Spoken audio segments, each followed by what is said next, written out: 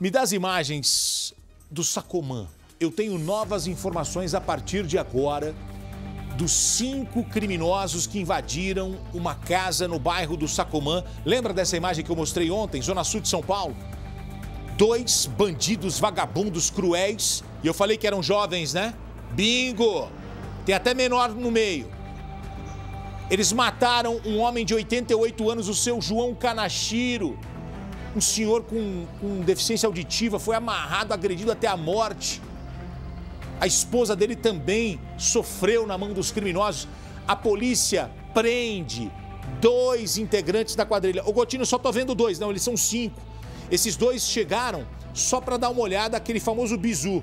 Dá aquela olhada, dá aquela sapiada, vê que tá tranquilo, aí eles chamam os outros covardes. Jovens que nesse horário deveriam estar dormindo, descansando para trabalhar, pegar firme no outro dia, estudar, mas não, estão cometendo crimes, ó. E eles são acostumados a, a roubar casa de famílias orientais. Esses bandidos cruéis, esses covardes, jovens canalhas.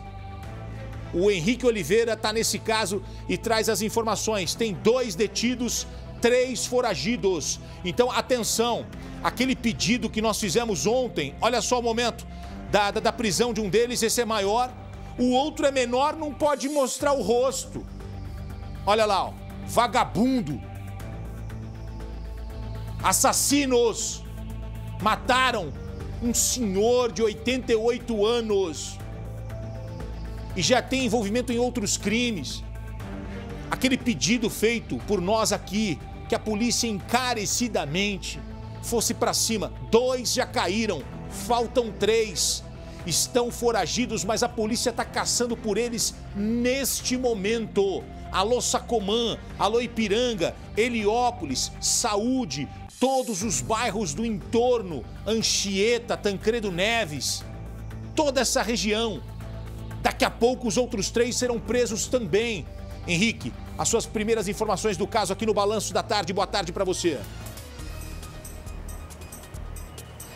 Exato, Gotino. Boa tarde para você, para quem está em casa acompanhando a gente. A polícia está nas ruas e essas prisões devem acontecer ainda hoje. É uma questão de tempo, porque o caso repercutiu bastante. Foi um crime bárbaro que chocou os moradores da região todos gostavam muito do senhor, do seu Kanashiro, 80 anos de idade, mais de 80 anos, e ele foi vítima dessa ação cruel. As câmeras de segurança da rua mostram o momento que eles armam essa emboscada, escolhem ali a casa que seria alvo dessa ação criminosa. Eles pularam o muro e entraram na casa. Mas tem um detalhe: o seu Kanashiro não escuta, tem um problema de audição, não percebeu quando a casa foi invadida. Ele foi rendido por esses criminosos que mataram o seu Kanashiro, Gotino, usando o cachecol que ele tinha enrolado no pescoço. Foi um crime realmente muito bárbaro, gerou muita repercussão e também revolta.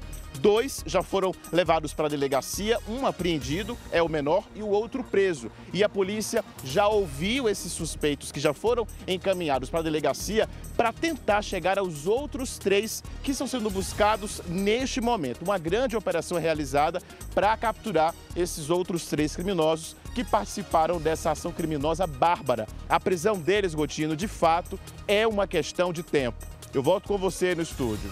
Então vamos lá, vamos lá. Dois detidos, três foragidos, polícia caçando neste momento os criminosos envolvidos na morte desse senhor. Um homem de 88 anos, que mesmo com um problema auditivo, construiu a sua história, é, criou uma família, a filha mora uh, fora do Brasil, a pessoa que tem uma casa hoje tem um carrinho melhor, a pessoa corre risco porque os bandidos querem, querem roubar, querem matar, querem destruir.